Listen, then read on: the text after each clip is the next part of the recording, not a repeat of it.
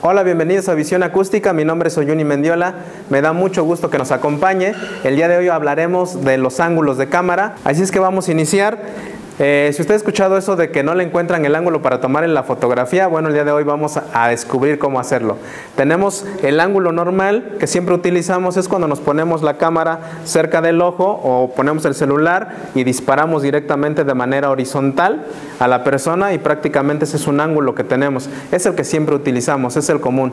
Para ello, en este caso, como ellos están sentados, yo tendría que agacharme para tomar ese ángulo a nivel del pecho. Así es que me voy a agachar, voy a tomar la cámara voy a poner a la altura del pecho de ellos y voy a tomar la fotografía. Este es el ángulo común que tomamos o normal. Existe otro ángulo que se llama picada.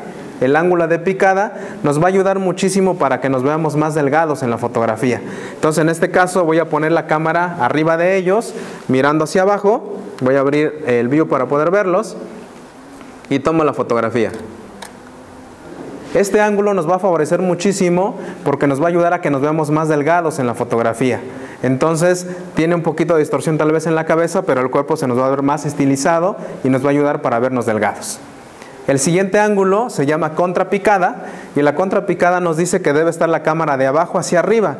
Este ángulo nos va a ayudar muchísimo si queremos vernos mucho más imponentes en la fotografía.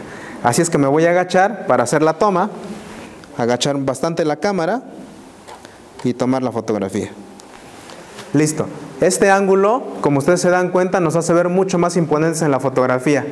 Esto fue todo por hoy. Me despido de ustedes. Recuerden, nos pueden encontrar en redes sociales como Visión Acústica. Mi nombre es Oyuni Mendiola. Un saludo a todos en el estudio y hasta luego.